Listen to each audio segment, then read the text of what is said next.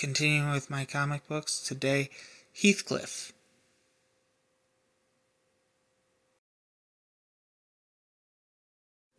I have issues 7, 22, and 39. I hope you enjoyed the video. I will be posting again soon.